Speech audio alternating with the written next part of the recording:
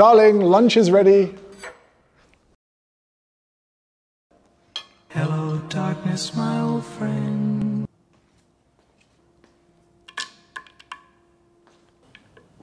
What is this? That's a nutritious, whole, complete meal. I hate meal replacement shakes. Let's look at a company like Huel, for example. Now, who could say no to tapioca, peas, rice, flaxseed, and sunflower seeds? That's actually my favorite way to start the day, said no one ever. Of course, this is all in my honest personal opinion, but before we dismantle why Huel is a load of crap, why don't we go to the whiteboard and understand a few things? I've never had a problem with protein shakes, but the second you put the word meal into a liquid drink, I've got a problem. So first of all, let's look at a bottle of Huel. 20 grams of protein.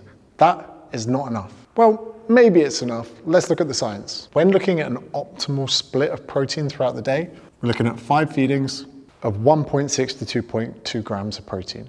So if I use myself as an example, 94 times 1.6, minimum 150 grams of protein a day, divided by five is 30 grams. That means my bare minimum amount of protein that I can consume on a daily basis is 30 grams. And that's if you care about things like muscle growth, recovery, etc. So looking at the bare minimum, unless you weigh less than 62 kilograms, 20 grams of protein just is not enough for a feeding for the majority of the population. And the majority of these meal replacement shakes aren't even using animal-based protein sources, they're using things like peas, and in some cases soy. And if there's anything that we know about those sources of protein, it's that you need to consume more of it to get the same effect because of an amino acid called leucine. So the protein content of drinks like this are kind of bum. But what if you don't care about protein? Is this still a good option to have instead of a meal? Let's look into it. Not quite the selection in Australia of meal replacement shakes compared to other places in the world. The man shake. Lose the beer gut without losing all the beers. A healthy meal in a shake. I have no problem with protein powders, but the second you put meal on a powder, that's where we're gonna fall out. I have many arguments as to why we shouldn't have meal replacement shakes, one of which being drinking meals kind of reminds me of a dystopian future, a bit like in The Matrix when they're eating sludge, getting their nutrition in through that. But when it comes to my biggest issue with meal replacement shakes, it's gotta be this. Does that look like 10 meals to you? Because to me, that looks like a bag of flipping powder. So imagine you've got children. If you don't, chances are you're probably going to have some in the future. And they say to you, Daddy, Daddy, I'm hungry. Can I have something to eat? You go, Of course. Why not have some carrots? Fantastic idea. Your child gets to pick up something they can chew. Fiber, nutrition, masticating. And no, that isn't something you do getting your cock out. That's the act of chewing. From a psychological standpoint, over hundreds of thousands of years of evolution, we've got food, we've chewed it, we've swallowed it, we've enjoyed it, we've held it. What kind of father do you think I would be if instead of giving my child carrots, have that little Timmy, enjoy your carrot juice. Oh, but dad, I wanted something to eat. That is food, you bigot. Oh, wow, thanks for lunch, dad. In other contexts, you would have to be insane to consider liquid as a meal. You bypass all the things that we get pleasure out of when it comes to eating. Eating, that is drinking. And if you're gonna drink something and call it a meal, you are insane. And you are heading straight forward to an eating disorder. And guess who's gonna pick up all those little habits? Little Timmy and the rest of your kids. Maybe not Huel, but we all know that those meal replacement companies are doing something in particular. Can you smell that? Are we in Egypt? Because it smells kind of pyramidy around here. 10 years ago, I get a message from one of my rugby teammates' wives. I read it, she goes, James, we need to talk. I go, oh my God, she's divorcing Paul.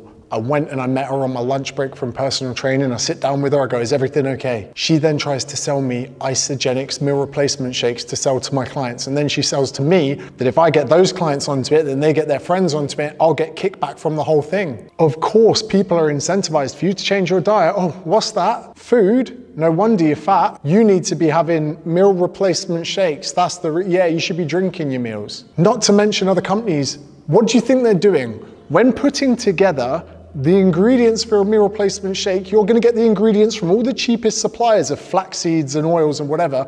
You're gonna put it together and try and make the biggest amounts of profit margins so you can pay people to endorse your product. And they're gonna go, oh yeah, that meal replacement shake's great. I, I actually lost weight because they're getting paid to say it. Are you out of your damn mind? Drinking meals instead of eating? Are you crazy? That's going backwards as a civilization. We haven't gone that far backwards since we got rid of the Concorde. Oh, but James, I haven't got time to eat. Listen, stop making it out that your employer is like a concentration camp in North Korea. You are legally obliged to have a lunch break. I believe it's every five hours you're entitled to 30 to 60 minutes. If they're not giving you that, they are breaking the law. But yet you've got enough time to scroll on TikTok, you've got enough time to bash a wank out in the toilets at work, but suddenly when it comes to eating, you don't have time. And let me tell you this, young Jim, if you do not have enough time to eat food on a daily basis, nutrition is the least of your problems. Even Molly-Mae will agree. We all have 24 hours in a day.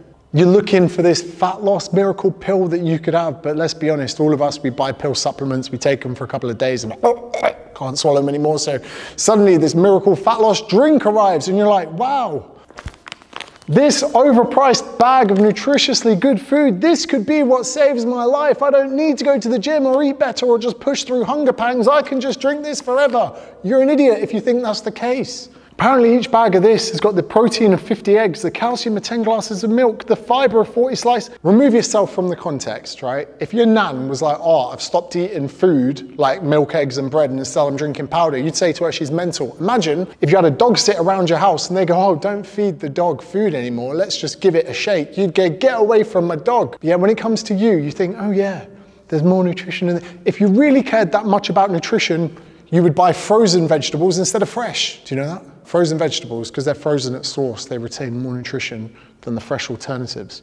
Yet we're kind of led to believe it's the other way around. Exactly, because you've been brainwashed by big supplement. Don't eat meals, have a shake instead. Disclaimer, there is a small cohort of people where I would permit weight loss shakes. Over to the whiteboard. I've been a personal trainer 10 years and this is how I make the decision. Are you going to die? If yes, meal replacement shakes might be an option. Bariatric surgery could be an option. Getting jabbed with a Ozempic could be an option. But if you answered no to that, the answer is stop being a prat. Somewhere along the lines, some marketing department thought, how can we sell filtered milk, which is protein powder, and get to more desperate, gullible people that need more help and will spend their money more desperately than anyone else. And you know what they said? Let's reframe protein shakes, which are a fantastic option, especially post-workout, to get the nutrients in that you need. Because when you train in the gym and you train hard, you are breaking down tissue that needs to regenerate and you need protein for that to occur. Now, protein shakes can be cost effective, but the main benefit of it is if you do return back to the workplace, and you want to get a protein feeding in after a workout, which doesn't actually have to be as soon after the workout as you think, you can go into the office, shake a protein shake, 25 grams of protein. If you're slightly bigger, obviously a bit more. Someone like me, obviously 35 grams plus. Because the alternative is if you were to shake a chicken breast at 2 p.m. in the office in the afternoon, everyone would think you were a knob. But this is a protein shake. This is a supplement that goes on top of your existing diet of actual foods so that it contains more protein. The second you replace foods with powders, you and I are going to fall out because you've got to set an example for yourself, for the people around you. And the second you swap meals for shakes, you're going in the wrong direction. And looking at the state of the world, someone's got to be a role model for the kids, you especially. So sort your damn life out, sort your damn nutrition out, eat your damn vegetables, set an example for the little ones. Meal replacement shakes, I'm pissed off with the companies that make them, I'm pissed off with you for considering buying them.